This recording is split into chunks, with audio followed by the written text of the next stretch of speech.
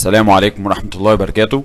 أعزائي طلاب الصف الأول الإعدادي أهلا ومرحبا بكم في درس جديد من دروس النحو وهو بعنوان المبني للمعلوم والمبني للمجهول ونائب الفاعل.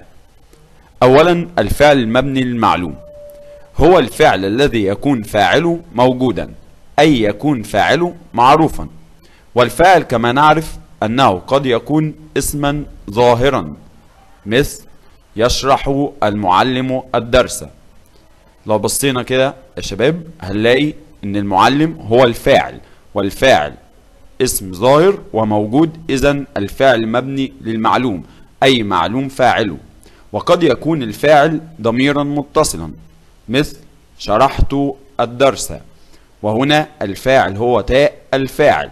تاء الفاعل ضمير متصل مبني في محل رفع فاعل. إذا الفاعل موجود فتكون الجملة مبنية للمعلوم أي فاعلها معروف. وقد يكون الفعل ضميرا مستترا مثل المعلم يشرح الدرس. إذا نظرنا سيكون الفاعل هنا للفعل يشرح ضمير مستتر تقديره هو. إذا في الثلاث أمثلة السابقة الفاعل موجود ومعروف. فتكون الجملة مبنية للمعلوم. ننتقل إلى الجزء الثاني وهو الفعل المبني للمجهول. ما معنى أن الفعل مبني للمجهول؟ الفعل المبني للمجهول هو الفعل الذي يكون فاعله غير موجود أي فاعله مجهول وغير معروف. مثل شرح الدرس. طب مين اللي شرح؟ غير معروف. إذا هنا الفاعل الفاعل مجهول والفعل يكون مبني للمجهول أو يشرح الدرس. طب من الذي شرح الدرس؟ برضو مش معروف مين اللي شرح الدرس إذا مبني للمجهول. كيفية بناء الفعل المجهول؟ لو أنا عايز أبني الفعل المجهول كيفية بنائه أولا الفعل الماضي. الفعل الماضي إذا كان صحيحا نضم أوله ونكسر ما قبل الآخر أي الحرف قبل الأخير. مثل أكل شرب تقدم اخترق استخرج. وهكذا نبني الفعل الصحيح في الماضي للمجهول. أما إذا كان ثلاثيا معتل الوسط بالألف يكسر أوله وتقلب الألف ياء. مثل قيل هي جاءت من الفعل قال. قال تحول إلى قيل وباع تحول إلى بيع وحال تحول إلى حيلة ونال تحول إلى نيلة وإذا كان رباعيا على وزن فاعل فيضم أوله وتقلب الألف واوا ويكسر ما قبل الآخر. مثل حاصر تحول إلى حوصر. غادر تحول إلى غودر. شاهد تحول إلى شوهد. وهكذا يتم تحويل الفعل الماضي للمجهول. ثانيا أو مرة أخرى إذا كان الفعل صحيح مثل أكل ثلاثيا صحيح زي أكل أو رباعيا أو خماسيا أو سداسيا أكل تحول إلى أكل. تقدم مثلا تحول إلى تقدم. اخترق تحول إلى اخترق. استخرج تحول إلى استخرج. كما قلنا قال تحول إلى قيل وحاصر تحول إلى حوص كيفية بناء الفعل المضارع للمجهول؟ الفعل المضارع إذا كان صحيحا أي ليس به حرف علة يضم أوله ويفتح ما قبل آخره. مثل يشرب تتحول إلى يشرب. يشرح تتحول إلى يشرح يعرض تتحول إلى يعرض.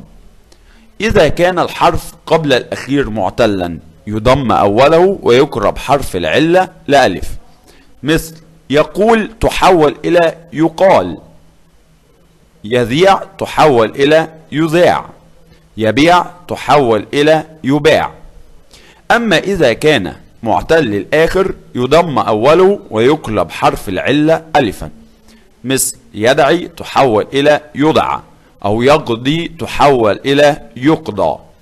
مرة أخرى الفعل المضارع إذا كان صحيحا يحول أو يضم أوله ويفتح الحرف ما قبل الآخر وهذه قاعدة العامة. مثل يشرب يشرب. وإذا كان معتلا آه، في الوسط يضم أوله ويقلب حرف العلة لألف كما قلنا. مثل يقول تحول إلى يقال وإذا كان معتل الآخر يضم أوله ويقلب حرف العلة ألفا. يدعي تكون يدعى. لاحظوا معي أحبائي الطلاب أن الفعل الأمر لا يبنى للمجهول. الفعل الأمر لا يبنى للمجهول.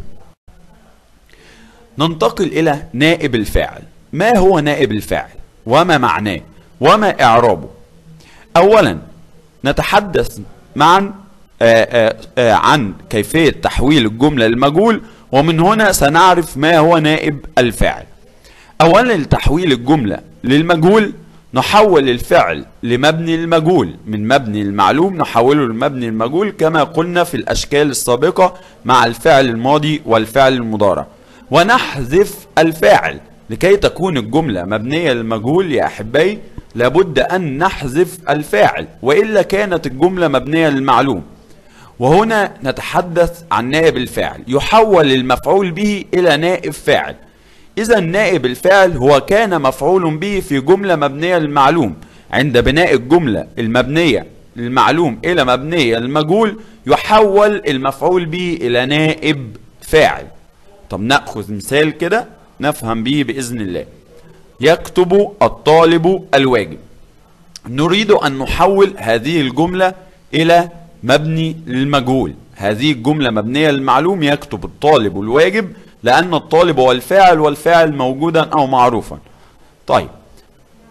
أولا يحول الفعل في شكله إلى مبني المجهول يكتب هتبقى يكتب. ونحذف الفاعل اللي هو الطالب. والواجب هو كان مفعول به في الجملة الثانية يحول إلى نائب فاعل وتكون الجملة يكتب الواجب. لاحظوا معايا أو معي أبناء الطلاب أن الفعل يذكر ويؤنث في المبني المجهول تبعا لنائب الفاعل. إذا كان نائب الفاعل مذكر يكون الفعل مذكر.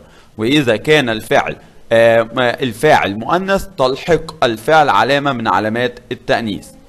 ونائب الفعل يكون مرفوعا دائما يعني يحول من حالة النصب عندما كان مفعول به في جملة مبنية للمعلوم إلى حالة الرفع في الجملة المبنية للمجهول ويسمى كما قلنا نائب. معنى بعض النماذج الإعرابية نفهم من خلالها ما قلنا. فهم الكلام. أول مثال فهم الكلام. هذه الجملة واضحة أنها مبنية للمجهول. ما إعراب كلمة الكلام؟ كلمة الكلام إعرابها نائب فاعل مرفوع وعلامة رفعه الضمة. كما قلنا أن نائب الفاعل يكون مرفوعا. المثال الثاني أكلت التفاحتان. طبعا أكل فاعل مبني المجهول إذا التفاح التفاحتان نائب فاعل مرفوع علامة رفعه الألف لأنه مثنى ويجب أن نلاحظ علامات الإعراب. المثال الثالث يحترم الحاضرون. يحترم هو فعل مبني المجهول إذا الحاضرون هو نائب فاعل مرفوع علامة رفعه الواو لأنه جمع مذكر سالم.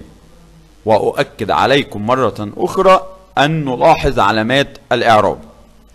المثال الرابع شكر أبوك. أبوك نائب فاعل مرفوع وعلامة رفعه الواو أحسنت لأنه من الأسماء الخمسة. إذا نائب الفاعل يكون مرفوعا ويجب أن نلاحظ علامات الإعراب لأنه قد يكون مرفوعا بالضمة. إذا كان مفردا أو جمع مؤنث سالما أو جمع تكسير وقد يرفع بالألف. إذا كان مثنى وقد يرفع بالواو إذا كان جمع مذكر سالم أو من الأسماء الخمس يأتي هنا كيفية بناء الفعل المتعدي المفعولين للمجهول. هناك أفعال متعدية المفعولين كما نعلم. كيف نحولها إلى مبني للمجهول؟ أولا يحول المفعول به الأول كما قلنا. أولا نحول شكل الفعل إلى مبني المجهول ونحذف الفعل. والمفعول به الأول يحول إلى نائب فاعل. والمفعول به الثاني يبقى كما هو مفعول به ثان. نأخذ مثال كده نفهم به بإذن الله ما نقول. وهب الإنسان عقلا. أنتم تعلمون أن الفعل وهب هي من الأفعال المتعدية المفعولين. وعندما نأتي به على شكل وهب إذا هو مبني المجهول طيب أين نائب الفاعل؟ نائب الفاعل هي كلمة الإنسان التي كانت في أصلها مفعولا به في جملة مبنية للمعلوم مفعولا به أول.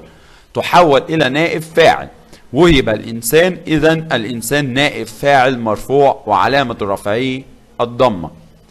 وما إعراب كلمة عقلا؟ عقلا تبقى كما هي مفعول به ثان منصوب وعلامة نصبه الفتحة إذا المفعول به الأول يحول إلى نائب فاعل كما قلنا ونؤكد أن المفعول به الثاني يبقى كما هو مفعول به ثان. يسألني أحد الطلاب كيفية تحويل الفعل أو الجملة من مبنية للمجهول إلى مبني للمعلوم هناك بعض الخطوات يجب أن نتبعها. أولا نرد الفعل إلى المبني المعلوم في شكله. كان شكل الفعل مبني المجهول نحوله مرة أخرى إلى مبني المعلوم. الخطوة, الخطوة الثانية أن نضع فاعلا للجملة. يجب أن نضع فاعل لأن الجملة المبنية المعلوم يجب أن يأتي بها فاعل. والفاعل كما قلنا له أشكال عدة. فيجب أن نضع أي فاعل بشكله. وأولا وثالثا نائب الفاعل يحول إلى مفعول به مرة أخرى. أي نرد أو نرد الجملة لأصلها. نرد كل شيء لأصله. نعيد الفعل على شكله الأصلي من مبني المجهول لمبني المعلوم ونضع أو نرد الفاعل مرة أخرى ونضع نائب فاعل أو نائب الفاعل يحول إلى مفعول به. نأخذ بعض الأمثلة. نيلت الجائزة. هنا الجملة مبنية المعلوم نيلت الجائزة. الجائزة نائب فاعل مرفوع. عندما نحول الجملة المبني المعلوم تصبح نال المتفوق الجائزة. حولنا الفعل إلى شكله الأصلي نال. ووضعنا فاعل المتفوق والجائزة حولت مرة أخرى إلى مفعول به منصوب. نأخذ مثال آخر يقال الحق. طيب نأخذ المثال أو نحولها المبني المعلوم. تصبح يقول الرجل الحق. يقول حولنا الفعل مرة أخرى لمبني المعلوم في شكله. ووضعنا فاعل وهو الرجل. ونرد نائب الفاعل وهو الحق إلى مفعول به وهو الحق. فتصبح الجملة يقول الرجل الحق. المثال الثالث. كرم الطالبان. كرم فعل مبني المجهول والطالبان نائب فاعل مرفوع علامة رفعه الألف لأنه مثنى. عندما نحول الجملة المبني للمعلوم تكون كالآتي كرم المعلم الطالبين. هنا يسألني أحد الطلاب حد آآ آآ نحن حولنا الفعل من مبني المجهول إلى مبني المعلوم. نعم. ووضعنا فاعل. نعم. ولماذا حولنا الألف والنون إلى ياء ونون؟ لماذا غيرنا في علامات الإعراب؟ طبعا كما قلت يجب أن نلاحظ علامات الإعراب فالطالبان في الجملة الأولى كانت نائب فاعل مرفوع بالألف. وعندما حولناها لمبني للمعلوم أصبحت الطالبين هي مفعول به والمفعول به يكون منصوب وعلامة نصبه الياء في حالة المثنى فأصبحت الطالبين.